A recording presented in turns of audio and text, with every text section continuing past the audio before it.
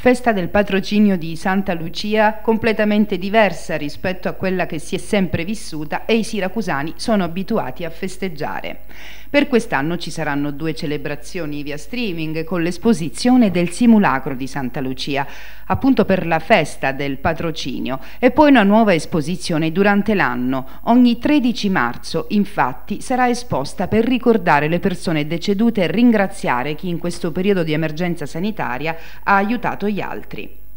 Intanto domani, sabato 2 maggio, si svolgerà il rosario e la messa celebrata da Monsignor Salvatore Marino, parroco della cattedrale, nella cappella di Santa Lucia e poi domenica 3 pontificale presieduto dall'arcivescovo Monsignor Salvatore Pappalardo. Le due celebrazioni saranno trasmesse in diretta via streaming. Anche per quest'anno Nonostante si svolga in maniera diversa, Tris segue comunque gli eventi dedicati al patrocinio di Santa Lucia. A maggio quest'anno saremo qui appunto in attesa degli eventi, però sempre un momento significativo e un momento toccante vedere poi riaprire la nicchia di Santa Lucia sia sabato prossimo alle 17.30 con la celebrazione, prima il rosario e poi la celebrazione della messa con Padre Tito, il parco della cattedrale. E poi domenica alle 11 ci sarà il pontificale con Sua Eccellenza d'Arcivescovo Certo saremo lì, apriremo le porte, ma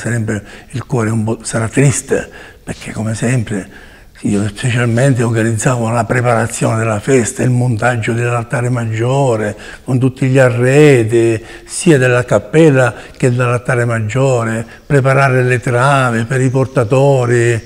per i portatori i berretti verdi che io stimo moltissimo, come stimo moltissimo anche le ragazze, le donne, le foulard verde, ci mancherà qualcosa veramente.